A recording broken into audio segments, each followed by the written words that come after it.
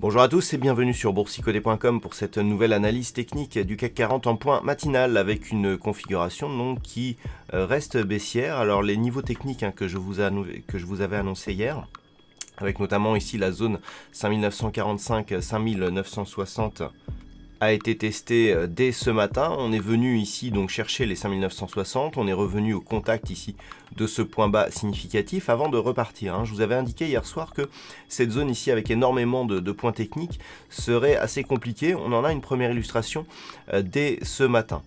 Du point de vue des indicateurs techniques, nous avons une configuration donc qui reste haussière sur le court terme avec un rebond technique ici souligné par les histogrammes du MACD et par le RSI qui est toujours sur une petite trajectoire haussière suite à sa sortie de sa zone de survente. Donc on reste encore une fois dans une configuration de rebond mais qui n'est que technique. On le voit ici sur ce graphe. On a eu ici un contact sur la zone majeure des 5860 points un rebond technique et donc on vient ici chercher ces zones qui pourraient commencer à faire passer ici ce, mouvement d'un statut de rebond technique un statut de rebond beaucoup plus, euh, beaucoup plus puissant. On est donc sous ces zones techniques, alors on a donc, je le rappelle, les 5945, les 5960 et ici le retracement de Fibonacci à 38,2% de l'intégralité ici de cette dynamique qui se situe à 5952. Ce sont tous ces niveaux techniques qui ont fait que on est venu les tester ici et qu'ensuite on est redescendu. On a aussi la proximité de la moyenne mobile 20 exponentielle qui on le voit, a quasiment fait office de résistance sur cette phase suite au fort contact que l'on a eu ici, à la forte attaque que l'on a eu sur la bande de Bollinger inférieure. Donc pour aujourd'hui, comment ça va se passer? Eh bien, tout simplement, on va observer un éventuel retour ici sur cette zone.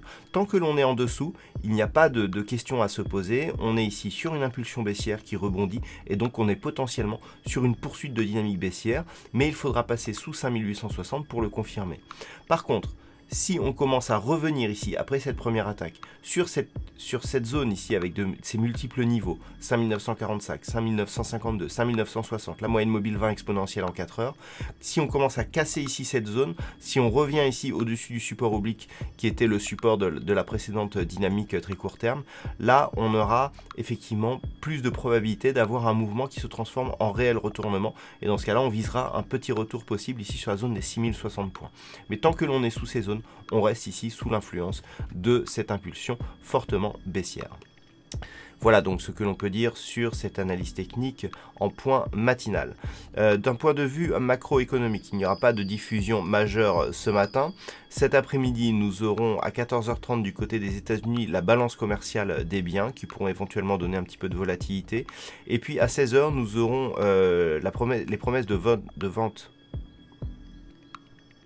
et puis à 16h, nous aurons quelques chiffres de l'immobilier euh, du côté des États-Unis, suivi à 16h30 des stocks de pétrole brut.